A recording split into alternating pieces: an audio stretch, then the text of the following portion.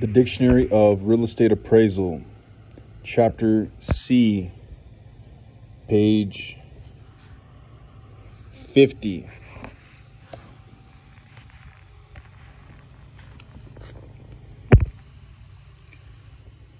Costs of materials, labor, and overhead.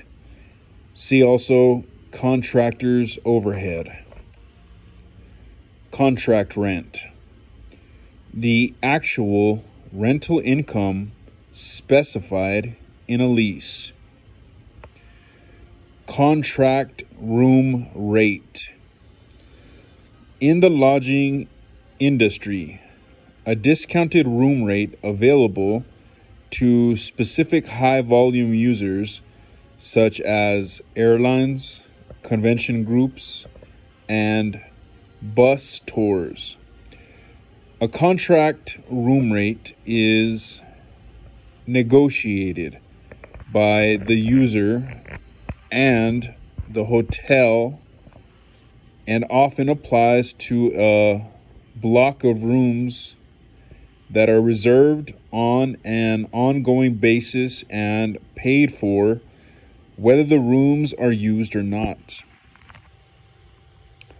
Contract sale See contract for deed. Contractual entitlement.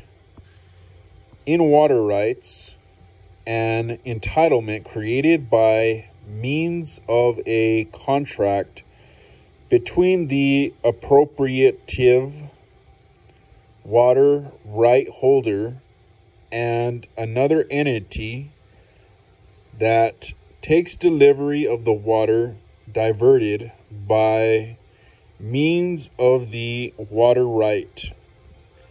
For example, a farmer may have a contract for water delivery from an irrigation district, while the irrigation district has the right to extract the water from a river. Contractual entitlement. Here is the picture for it. It shows the river running over here to the left. It shows water right point of diversion that's coming off of the river. It shows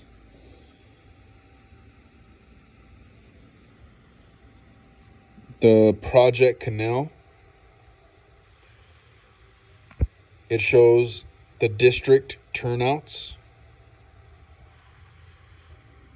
Over here to the right, you see District B on the top that's getting access to that. Down here, you see District C getting access to that. You have district canals right there. And Farmer 1, Farmer 2, Farmer 3, and Farmer 4 are all getting some of that. District A project has water right. Districts have contractual entitlements with project. Farmers have contractual entitlements with district.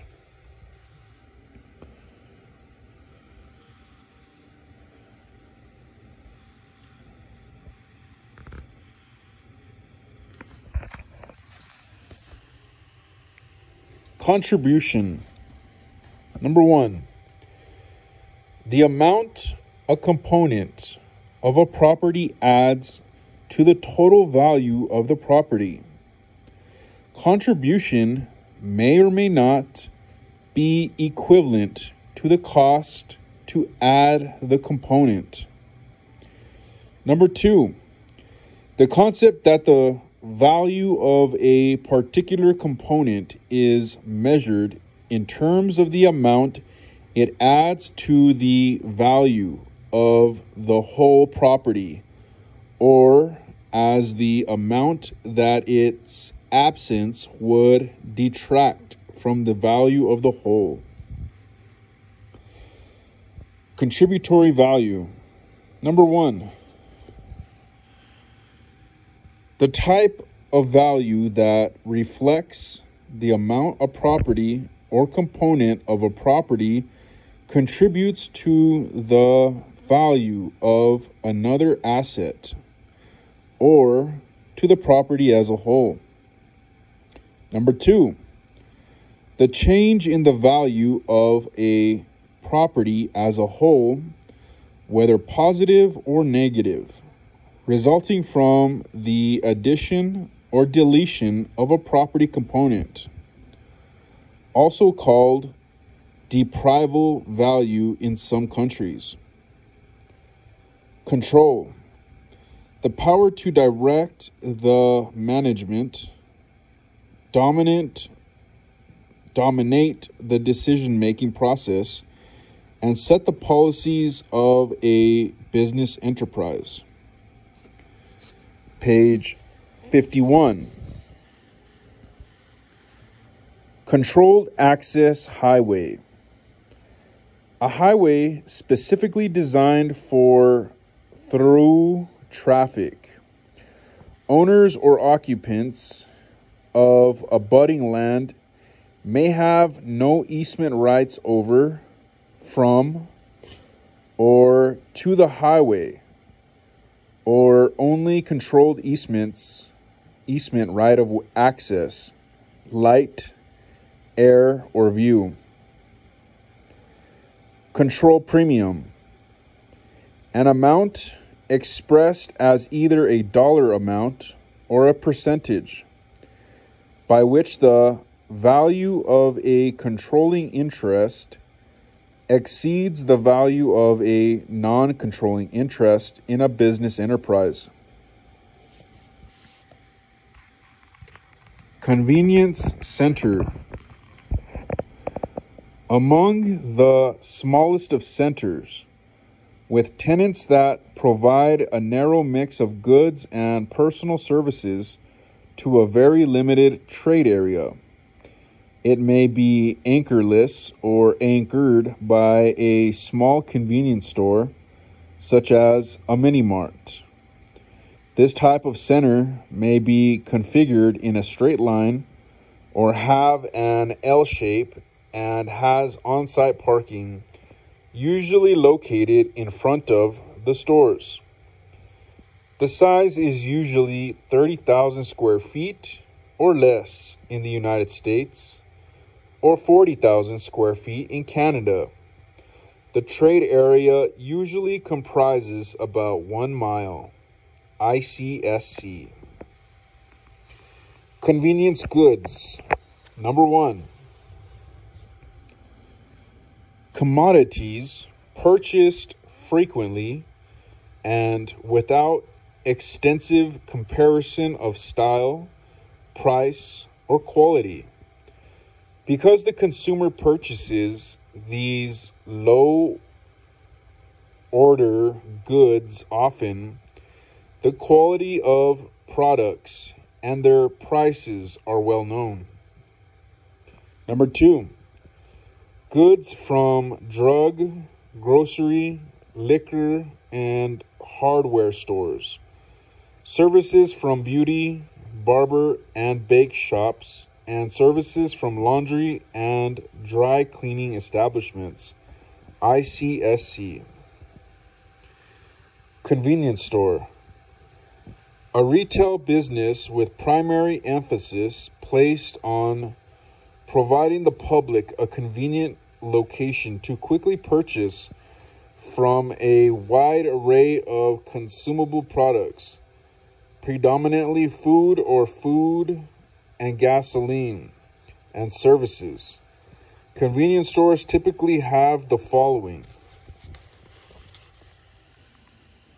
off street parking or convenient pedestrian access, extended hours of operation with many open 24 hours, seven days a week.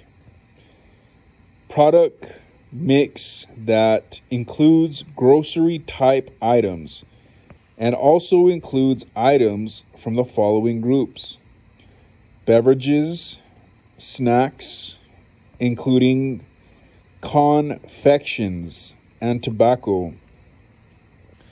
According to the Association for Convenience and Fuel Retailing, convenience stores have six identifiable, identifiable formats kiosk, less than 800 square feet, mini convenience store, 800 to 1200 square feet, limited selection convenience store, 1500 to 2200 square feet. Traditional convenience store, 2400 to 2500 square feet. Expanded convenience store, 2800 to 3600 square feet. Hyper convenience store, 4000 to 5000 square feet. See also convenience goods. Conventional loan. A mortgage that is neither insured nor guaranteed by an agency of the federal government, although it may be privately insured. Convention Center. A large scale meeting hall designed to host national and regional association meetings. Designed to accommodate a large number of trade booth exhibitors, thus necessitating high electrical capacity and an extensive network of electrical outlets. The facility must be located in a large city with a large passenger airport and enough lodging rooms to accommodate a large number of out of town guests. Convention Hotel Hotels designed to accommodate large groups and functions. They provide facilities such as one or more large ballrooms with breakout areas for meetings and